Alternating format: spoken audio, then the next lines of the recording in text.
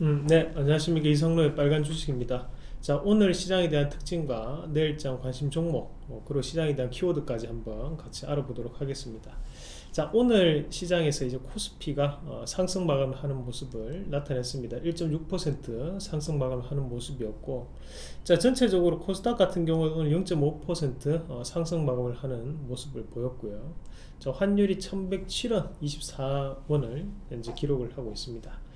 자 12월 1일날 시장에 대한 특징 어, 세 가지 한번 같이 살펴보신다면 우선 일시적인 외국인 매도 어, 전일 매도가 크게 나타났습니다. 그래서 약 2조 원 가까이 2조 원 넘게 매도를 하는 모습이었는데 어, 일단 하루 만에 어, 순매수로 돌아서는 전환이 되는 양상을 나타내면서 이 부분은 시장에 긍정적인 영향을 미칠 수 있다. 그래서 수급 오늘 한번 같이 알아보도록 하겠고요.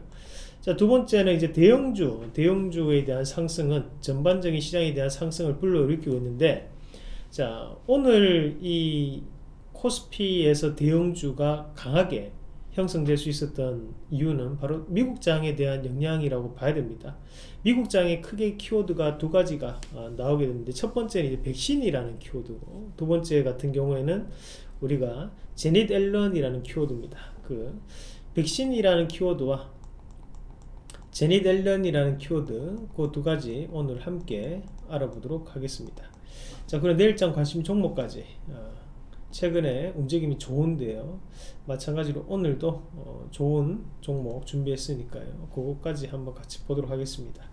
자 일단은 일시적인 외국인 매도 금일 순매수는 긍정적이다. 자 수급을 먼저 확인을 해 봐야 될 것 같습니다. 수급에 대한 변화 움직임 보시겠는데 어, 우리가 오늘 수급 좀 눈여겨봐야 되는 것 중에 하나가 일단 코스피가 다시 한 번 더 2600포인트를 돌파를 해서 올라가는 모습이었고 전일 1.6%가 오히려 하락을 하는 모습을 나타냈습니다 자 그러면서 이제 수급을 한번 체크를 해 보신다면 자 수급이 어, 칸이 어디 갔냐 음. 음, 자 오늘 외국인들이 전일 같은 경우에는 2조 4천억 원 그리고 개인이 2조 2천억 원을 매수를 했습니다 자 그리고 거기에 따라서 금융투자가 어제 오늘 매수를 하는데 이거는 증권 관련 물량이기 때문에 크게 신경 쓰지 않으셔도 된다고 했죠. 외국인들에 대한 매수가 또 들어오는 모습을 보였습니다. 그리고 개인은 여전히 매도를 좀 나타내는 모습이었고요. 자 결국에는 하루 만에 외국인들이 다시 한 번 더 매수로 전환되는 모습을 보였고 전일 매도는 MSCI에 대한 지수 변경으로 인해서 일시적인 부분이었다. 뭐 그렇게 추정하는 기사들이 많았고 어, 다행히 그 추정 기사가 맞아 들어가면서 오늘 다시 한번 외국인들이 매수를 보이면서 시장을 다시 한번 땡겨 올리는 그런 모습이 나타났습니다. 장중에는 투신도 그리고 연기금도 매수를 보이는 모습까지도 나타났었지만 투신과 연기금의 매수는 어, 시장이 진행이 되면서 매도로 전환이 되는 모습이었고 코스피에서도 외국인들이 장 후반에 매수가 들어오는 모습 그리고 개인들에 대한 매수가 지금 코스닥 시장을 이끌어 나가고 있는 그런 양상이라고 우리가 판단을 할 수가 있겠습니다. 자 이런 좋은 수급이 나타나고 있던 가장 큰 이유 중에 한 개가 자 수급에 대한 부분을 좀 더 자세하게 보시면요. 현재 이 외국인들이 대형주에 대해서 1500억에 대한 매수를 보였고요. 특히 이제 전기전자 그리고 서비스업 중심의 많은 매수세 그리고 화학 철강 금속 저가 매수가 지금 유입되고 있다고 볼 수 있죠. 저가 매수가 유입된다는 얘기는 결국 또 저 PBR 관련주 청산 가치가 높은 주식들에 대한 반등이 지금 현재 나타나고 있다고 봐야 됩니다. 뭐 현대제철, 뭐 포스코라든지 또는 앞서서 화학주들 많이 빠져있던 종목군들의 화학주들이 반등이 또 강하게 올라오는 그런 모습을 보이고 있다고 볼 수 있고요. 자, 마찬가지로 이 외국인들이 많은 매도를 보였던 것도 있겠죠. 중형주, 금융업, 운수장비, 의약품 순으로 많은 매도를 또 보이는 모습까지도 드러났습니다. 그러니까 그래서 지금 현재 외국인들이 두 가지 two track에 대한 움직임을 보이고 있다고 판단할 수 있는데요. 자, 우선은 첫 번째로는 어, 전기전자 업종을 비롯한 어, 지금까지에 대한 주도주, 주도주에 대한 매수세를 한쪽에는 보이고 있고 다른 한쪽에서는 저가 매수가 유입되면서 많이 빠져있는 종목에 대해서 저가 매수가 들어가면서 저가를 올려주는 움직임이 또 나타나고 있습니다. 그래서 지금 현재는 이렇게 양차적인 부분에서 움직임이 나타나고 있다. 뭐 그렇게 판단을 하면서 볼 수 있겠습니다. 자, 어, 이렇게 외국인들에 대한 매수가 들어올 수 있던 결정적인 요인을 우리가 한번 살펴보신다면 일단 기본적으로 어, 이 시장에서 지금 미국장에서 들어오는 훈풍 두 가지가 상당히 중요한 역할을 하고 있다고 볼 수 있는데 자, 그 부분을 한번 같이 체크해 보신다면 첫 번째는 바로 이 백신에 대한 부분입니다. 자, 일단은 지금 현재 백신이 상당히 골든타임적으로 진행이 되고 있어요. 지금 특히 이제 모더나 자, 화이자하고 바이오엔테크에 대한 백신 그리고 아스트라제네카 크게 이 세 가지로 나눌 수 있는데 아스트라제네카 같은 경우에 추가적인 3상 임상을 들어갔습니다 어, 이게 확실한지 안 한지 다시 한 번 더 재검증을 맡게 됐고 자 모더나 같은 경우에는 성탄절 전에 접종을 할 것이다 화이자도 마찬가지에 대한 부분을 얘기를 하고 있습니다 앞서서 이제 백신 특집 관련된 유튜브 영상을 통해 가지고 어, 이 화이자하고 모더나에 대한 공통점과 차이점을 말씀드렸었는데요. 일단 기본적으로 미국 같은 경우에는 지금 확진자가 워낙 많이 나오기 때문에 이 확진자를 막기는 힘들다고 판단하는 것 같아요. 그래서 이제 백신을 최대한 이제 성탄절 전날부터 전에 접종을 함으로써 이 확산세를 막겠다는 의지가 좀 강하다고 보아야 됩니다. 그래서 예방의학에 대한 극대화를 시켜보겠다는 뜻이라고 볼 수 있고요. 자, 마찬가지로 이제 우리가 뭐 미국 보건장관 성탄, 성탄절 전날 백신 접종을 전에 시작을 하겠다. 전날이 아니고 전에 시작을 하겠다는 얘기를 계속적으로 하고 있는 상황입니다. 자, 이런 부분 자체를 봤을 때, 어, 지금 현재 이 모더나라든지, 어, 또는 화이자에 대한 이야기가 나오면서 이런 백신 관련된 부분은 어, 우리가 이제 12월달 그리고 1월달까지도 계속적인 이슈가 될 수밖에 없어요. 만약에 미국에서 이 백신을 맞고 난 다음 정말 효과가 좋았다. 실제, 실제로 투여를 했는데 효과가 정말 좋았다면 우리나라는 왜 이렇게 빨리 모더나나 화이자를 받아들이지 않느냐라는 또 여론이 형성될 가능성이 높거든요. 그만큼 이제 언론 지형도 자체가 어, 뭔가에 대해서 이제 막 쏠리는 쏠리마가 상당히 많이 나타나는 우리나라의 여론 지형 그리고 언론 지형을 보유하고 있습니다. 그렇다 보니 기자들이 맘먹고 또다시 이런 백신에 대한 부분을 어, 왜 이렇게 빨리 안 하냐 이런 식으로 어, 쓰게 된다면 또 거기에 맞춰 가지고 또 여론 지형도 형성될 수밖에 없는 그런 상황이라고 좀 보거든요. 그러면 지금 현재 이런 모더나라든지 어, 또는 화이자 관련된 부분에서 아, 백신을 맞으면 괜찮아진다라는 이런 기대감 자체가 시장을 이끌고 있다고 봐야 돼요. 우리가 11월 달에 미국 증시는 역사적인 상승률을 기록을 할 정도로 상당히 가파른 상승률을 기록을 했습니다. 거기에 대한 가장 큰 이유는 바로 이런 백신 개발에 대한 기대감이라고 봐야 되거든요. 그래 지금 코로나가 확산이 되면서 하루에 20만 명 우리나라 같은 경우 지금 500명 400명씩 나옴에도 불구하고 시장은 그렇게 큰 걱정 안 한다는 거죠. 바로 백신이 있기 때문이에요. 그러면 여기에 대한 기대감으로 시장은 더욱더 상승에 대한 추세를 올릴 가능성이 높다고 봐야 되는 부분이라고 말씀을 드리겠고 자 마찬가지로 또 한 가지 어, 광고에서는 안 되는 가장 중요한 포인트인데요 어, 이 바이든에 대한 경제팀 인선이 진행이 되는 첫 여성 재무장관이 지명되었다. 어, 그러면서 조 바이든 미국 대통령 당선인이 재무장관의 여성인 제넷 앨런 전 연방준비제도 의장을 지명했다라고 밝혔습니다. 자 일단은 제넷 앨런 같은 경우에는 우리가 어떤 사람인지 히스토리가 좀 알고 계셔야 됩니다. 자이 사람이 미국 연방준비제도 이사회 그 우리가 흔히 얘기하는 FMC 의장 출신이에요. 자 그리고 2014년 2월부터 2018년 2월달까지 진행을 해왔고 이 제네델런 전에 벤 버냉키였죠. 벤 버냉키가 상당한 양적완을 했던 사람이었습니다. 자 마찬가지로 이 제네델런 같은 경우에도 친기업적인 성향을 많이 나타냅니다 자 일단은 샌프란시스코 연방은행 총재를 했었고요. 그 다음에 이제 부의장 이후 의장까지도 올라가는 모습을 나타냈었고 꾸준히 이제 초저금리에 대해서 언급을 해 왔었고 시장에 대해서 상당히 친화적인 어, 그런 제니델런 의장이었습니다. 어, 마찬가지로 지금 현재 제롬 펄 의장 같은 경우에는 법학과 교수님 출신이었죠. 그리고 그 교수님 출신으로서 어, 점진적인 금리 인상을 시작을 했었거든요. 자, 제네들런이 부임했던 시기가 2014년 2월 달부터 2018년도 2월 달입니다. 자, 차트를 잠깐 한번 같이 보시면 자, 미국장 차트를 한번 같이 보시겠는데요. 자, 아이고, 아이고.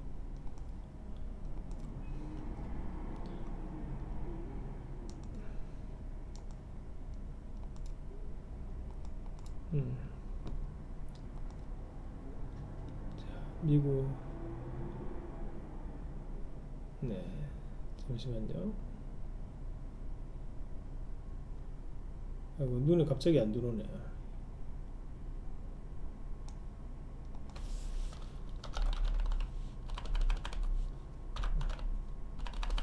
자. 음. 자, 제가 좀 당황을 했습니다. 예, 빨리 눈에 안 들어오네요. 자, 나스닥에 대한 차트를 잡아보도록 하겠습니다.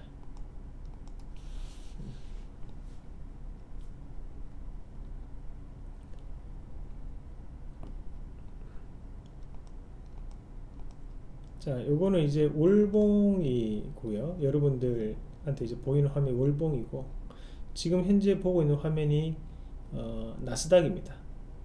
나스닥인데 어, 이 자네델런 의장이 부임했던 시기가 2014년도 2014년도부터 시작을 해가지고 요 시기부터 시작해서 2018년도까지 부임했다고 했죠. 2018년 2월 때까지. 자, 2014년도부터 2018년도까지는 완만한 상승 기조를 유지를 해주는 그런 시기였어요. 어, 친기업적인 성향이 상당히 강하죠. 2018년도 2월달 이후에 지금 현재까지 제롬 파월 의장이 어, 지금 현재 유지를 하고 있는데 2018년부터 2019년까지 이 제롬 파월 의장이 부임하고 난 다음에 가장 먼저 썼던 정책이 바로 점진적인 금리 인상을 외쳤습니다. 그러면서 시장 자체가 박수권에 대한 움직임을 보이면서 올라가지 못하는 움직임들이 고가가 막히는 그런 움직임들이 나타났었거든요. 그 이후에 다시 한 번 더 지금 시세를 뽑아내면서 지금 미국장이 다시 한번 달려가고 있는 그런 양상이 나타나고 있다고 볼 수 있습니다.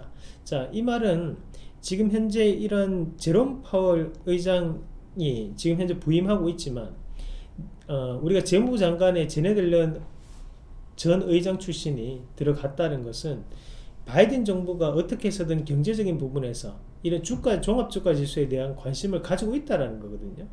어, 주가를 관리할 줄 아는 사람을 뽑았다는 거죠. 어, 그런 측면에서 봤을 때 앞으로 이 바이든 정부 들어선고 난다면 시장은 또 하락을 할 것이다 라는 그런 막연한 가설은 성립되지 않는다.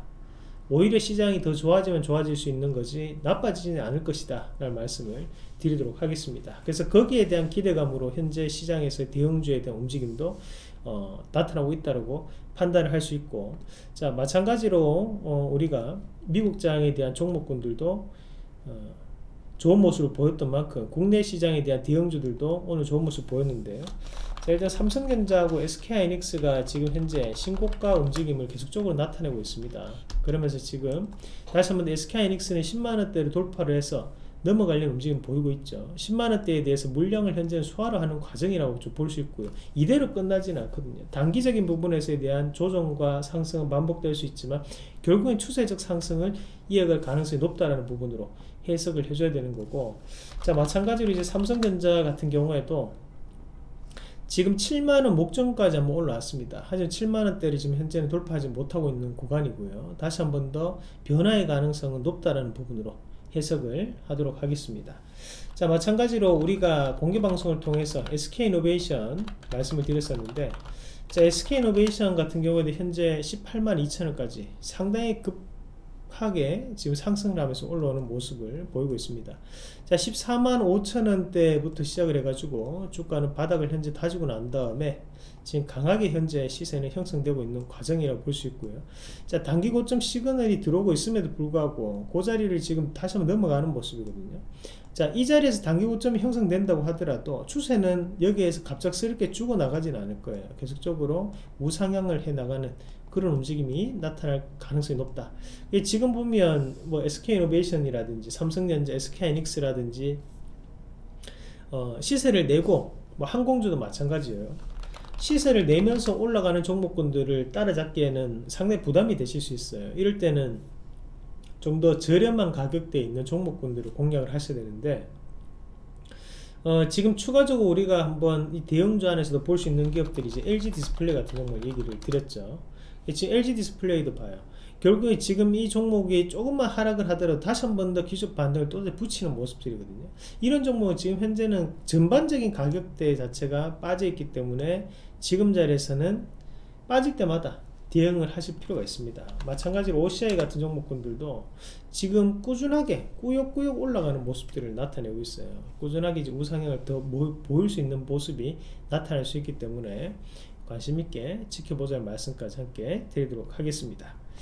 자, 어, 대형주에 대한 부분 꾸준히 관심을 가지고 지켜보셔야 됩니다. 일단은 시장 자체가 돌아서서 올라가는 흐름이라는 것은 대형주가 안 올라가고는 시장이 올라갈 수가 없죠. 그러면 대형주에 대한 매기세가 좀 더 쏠릴 수 있다. 누구에 의해서 바로 외국인에 의해서 쏠릴 수 있다는 부분을 명심하시면서 외국인들이 내일도 다시 한 번 더 매수가 들어온다면 시장은 2600포인트에 대한 어 이제 돌파가 좀 더 강하게 형성될 가능성이 높다는 부분까지 말씀을 드리겠습니다. 오늘 돌파를 했지만 아직까지는 전일 하락을 했고 오늘 돌파를 했는 것에 대해서 불안감이 아직까지 존재한다고 봐야 되거든요.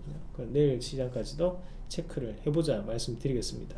자, 시장이 워낙 미국발 호재가 나오고 있기 때문에 미중 무역 분쟁에 대한 우려감이 커지고 있음에도 불구하고 크게 이슈가 되지 않습니다. 그리고 12월 14일 날 선거인단 투표로 인해 가지고 트럼프가 승복을 한다고 했기 때문에 그 부분까지 한 번 더 기억을 하면서 보시면 되겠습니다. 자, 어, 12월 1일 내일장 관심 종목 보시면요. 일단 다우 기술, 서린바이오, 자화전자 준비했는데요. 자, 다우 기술 같은 경우에 디지털 뉴딜 관련주라고 보시면 됩니다. 그래서 지금 현재 뉴딜 펀드가 내년 4월에서 5월 달에 운영을 할 계획이기 때문에 그에 따른 움직임 눈여겨보실 필요가 있고요. 마찬가지로 키움증권에 대한 어, 우리가 모회사가 바로 다우 기술입니다. 지분을 보유하고 있고 거기에 따른 변화 가능성 지켜볼 수 있겠습니다.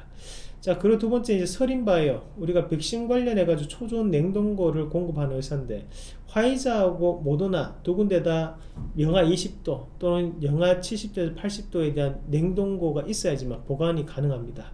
그런 과정을 판단한다면 이런 서린바이오에 대한 변화 가능성도 높게 봐야 된다. 앞서서 이 방송을 통해서 말씀드렸던 것이 이제 녹십자 랩셀 같은 종목은 신고가를 갔죠. 이신바이오 마찬가지고요. 지금 이런 서린바이오도 종목에 대한 변화 가능성은 높다. 그렇게 저는 판단합니다.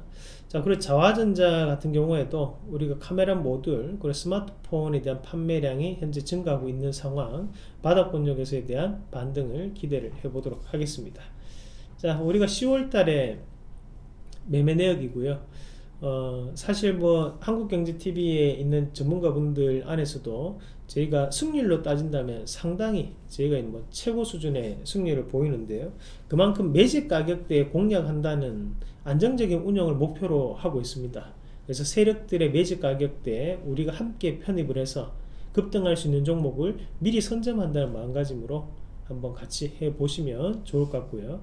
마찬가지로 우리가 11월 달에도 어, 최근 이슈가 되었던 종목군들에 대해서 미리 선점을 하는 모습이 나타났죠. 우리가 11월 9일날 KGTS인데 KGTS가 어제 또 급등하는 모습 아시안 IDT도 급등이 나왔죠. 그래서 요거는 지금 더욱 더 추가적으로 넘어가는 모습들이 나타나고 있습니다.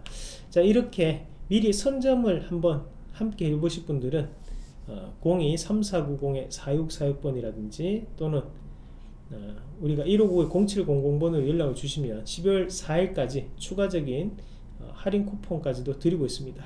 그 이벤트까지 꼭 담아가시길 바라겠습니다. 자 오늘 오늘 밤 11시 화요일 밤 11시에는 어, 공개 방송이 있을 예정입니다. 그래서 1시간 동안 추가적인 특강을 진행을 할 건데요. 어, 궁금하신 분들은 꼭 참여하셔가지고 12월 달에 어, 또 미리 선점을 해야 되는 어, 업종과 그리고 종목도 들어보시길 바라겠습니다.